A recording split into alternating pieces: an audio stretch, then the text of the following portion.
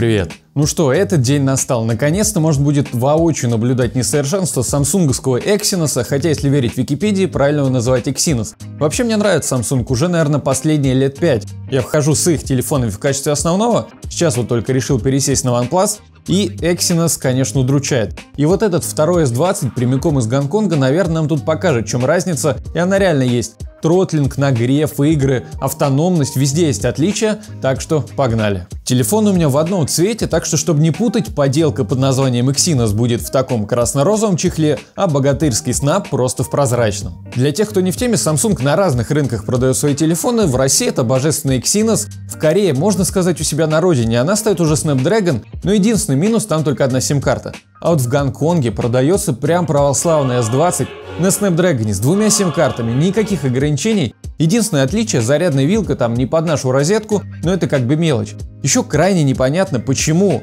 в Гонконге в комплекте есть чехол, причем нормальный, почти как в Mi 10, такой с нормальными гранями, а у нас в России нет. Что за фигня? Вообще с Samsung на Exynos я проходил, ну, получается, месяца 2-3, основные претензии у меня к нему такие. При любой задаче, ютубчик, браузер, телефон греется, как будто ты игру на нем запустил. Под нагрузкой минут через 20 он принудительно скидывает частоту обновления экрана со 120 на 60 Гц, это прям дико заметно глазу и вообще вымораживает. Ну и Call of Duty единственная игрушка, в которую я могу хоть иногда подзалипнуть, на S20 на Exynos она идет нормально, только на средних настройках, дальше это все будет видно. Ну и начнем с простых вещей. Чтобы пользоваться телефоном, его нужно хотя бы включить, поэтому перезапустим телефоны и с учетом моих кривых пальцев Snapdragon оказывается на 5-7 секунд чуть-чуть быстрее. Многие думают, хотя я раньше так тоже думал, что если в игры на телефоне не играть, то вот эта разница между процессорами в обычном использовании, то есть там просто при скроллинге нет, но она есть, хоть может быть и небольшая.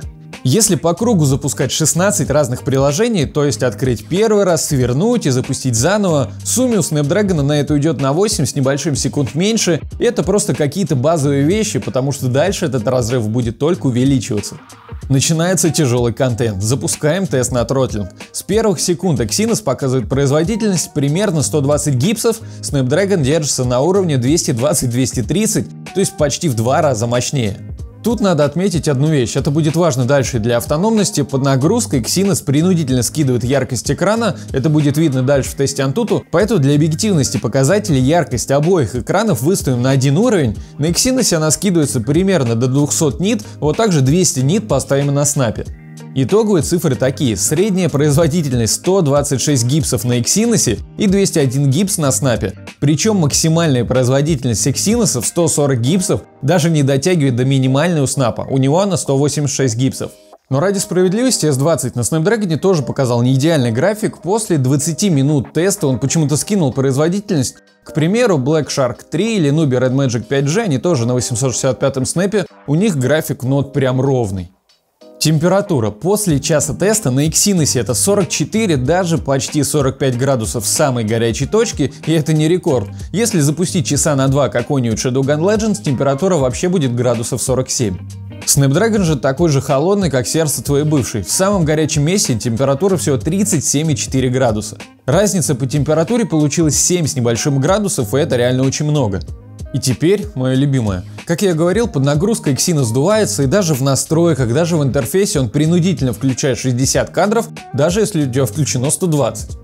Сразу после тротлинг теста проверяем, что включена частота обновления 120 Гц и видим триумфальное падение этого чуда корейской мысли. Snap по-честному дает тебе то, за что ты заплатил, а жадный Exynos начинает беспощадно тормозить. И так везде, настройки, рабочий стол, когда первый раз с этим столкнулся, даже не поверил своим глазам, что за наглость вообще так поступать. Ну окей, запускаем Антуту. Для чистоты эксперимента 5 раз подряд и на снайпе, и на Exynos прогнал этот тест и вот то, о чем и говорил. Под нагрузкой Exynos скидывает принудительно яркость экрана, вроде смотришь, ползунок выкручен на максимум, но Snap может, а Exynos не может. Так что если решишь на Exynos поиграть в яркий солнечный день, тебя ждет обламинго. Antutu Snapdragon тоже выполняет секунд на 10 быстрее, но это уже даже как-то отходит на задний план по сравнению с остальными косяками. Ну и тут же можно увидеть промежуточный остаток заряда. При одинаковой нагрузке и с одинаковой яркостью Exynos успел разрядиться до 54%, Snapdragon только до 65%, но об автономности мы еще поговорим. Итак, Antutu был запущен 5 раз подряд. Понятное дело, что баллов Snapdragon набрал процентов на 10 больше, но важнее тут другое. 30 градусов на снапе, 54 на Exynos в первый прогон, потом 35 и 58, 36 и 59, 36 и 63 и 38 65.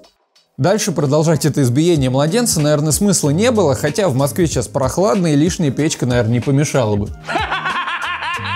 Итого, с 54 до 65, то есть на 11 градусов нагрелся Exynos, причем до теста оба телефона перед этим полчаса полежали отдохнули, чтобы температура процессоров была на минимальном уровне, и с 30 до 38 градусов нагрелся Snapdragon. 27 градусов разницы, это очень много. Samsung, почему, зачем вообще ты так с нами? Теперь протестируем память. Тут не все так очевидно. Стандарты памяти никто в телефонах не менял, UFS 3.0 встроенная, LPDDR5 оперативная. Тест памяти был минут через 20 после тротлинг теста и по встроенной Exynos опять пролетает в два раза.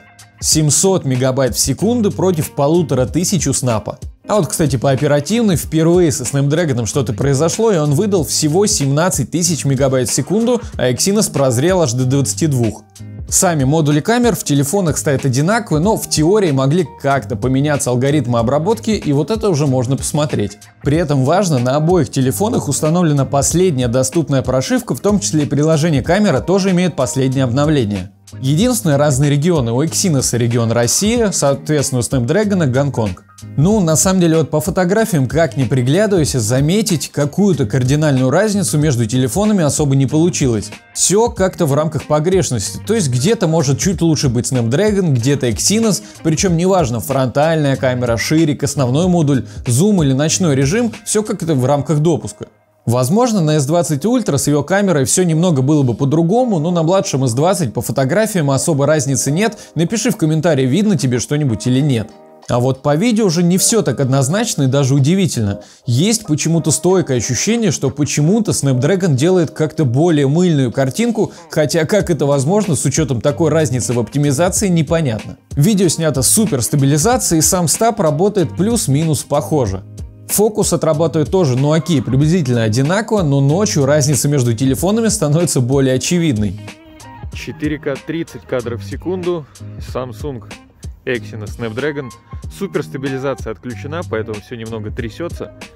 Почему-то, вот, например, по деревьям видно, что Exynos делает намного зеленее картинку, насыщеннее даже. А почему-то Snapdragon, что удивительно, они наоборот делают как-то более блекло.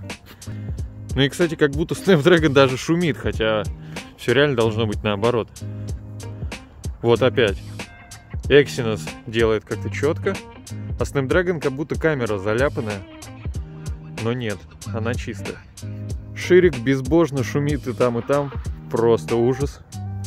Блин, почему-то реально картинка на Snapdragon какая-то кошмарная. Ну...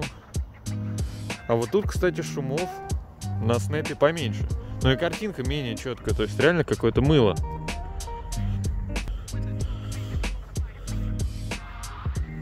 И, кстати, здесь шумов реально больше на снапе. А вот тут как раз Exynos мылит немного. Вот, здесь они поменялись местами. Ну и, конечно, игрушки. Протестируем на трех. Call of Duty, PUBG и Shadowgun Legends. С него и начнем. Основные моменты – ультра настройки, частота кадров 60 FPS, оба телефона тестировались на горячую и игры запускались сразу друг за другом, чтобы вот прочувствовать, как телефоны себя ведут, если часик поиграть. Snapdragon вверху, Exynos внизу. Наверное, у меня не было ни одного телефона без просадок в этой игре. Snap держится почти всегда на уровне 60 FPS, максимальная просадка была до 48. Exynos пыхтит, показывает 35-40 FPS в принципе, 60 тут он и не может. Там, где синяя полоска на графике, это был выход в меню, чтобы настройки показать. Call of Duty. Ну и настрадался я с ней. Во-первых, на очень высокой графике 60 FPS на Exynos нельзя, на Snap можно. Поэтому оба телефона тестировались просто на высоких настройках и на максимальном количестве кадров. Опять же, там где на графике синие полоски, это выход в меню для настроек. Snapdragon легко переваривает игрушку, на Exynos просадки уже до 40 FPS, ну и кто играет в эту игрушку знает, что это очень чувствуется и приходится понижать на средние. Хотя даже если так, часа 3 поиграть в игрушку, в некоторых моментах могут быть просадки до 30, Exynos он не очень стабилен в этом плане. Ну и PUBG. В GFX выставлены настройки на HDR, FPS выставлен на 60 и включено сглаживание 2x. На Snapdragon все идет спокойно. 60, 59, 58, 60, 61. Максимальная просадка была до 56 FPS, и это на глаз не особо ощущается. Exynos 35, 42, 39, 35. В общем, играть так нереально. Выше 45 FPS он в принципе не прыгает. Еще раз, для объективности показателей игры тестировались на горячую, и в какую игру не зайди, Exynos везде будет сдуваться, это гадалки не ходи. Поэтому последний гвоздь в крышку гроба хваленого Exynos – автономность. Один день, несколько прогонов Antutu, один час тротлинг теста, немного фото и видео, немного игр в перемешку и оставшееся время YouTube через Wi-Fi на максимальной яркости. При этом, так как Exynos любит скидывать максимальную яркость экрана, яркость экрана на Snapdragon тоже поправлялась под один уровень. Итого Exynos выключился и пришлось подключать к розетке, показав 4 часа 40 минут экрана. На Snapdragon к этому времени оставалось еще 18% заряда. Еще за полчаса YouTube ушло еще 5%, осталось 13%. Полностью же он сел, когда было 6 часов 15 минут экрана. На этом избиение младенца предлагаю завершить. Samsung настолько зафакапила свой Exynos, что даже у себя на родине в Корее она продает телефоны на снапе. Когда у меня было с 10, тоже на Exynos, я, конечно, слышал, что 855 Snap лучше, как-то не обращал внимания, но теперь это просто жесть. Это был тяжелый контент, так что делайте выводы, пиши в комментарии, что думаешь по этому поводу, ну и, конечно, подпишись на канал. Я себе дерьмо под названием Exynos больше не куплю.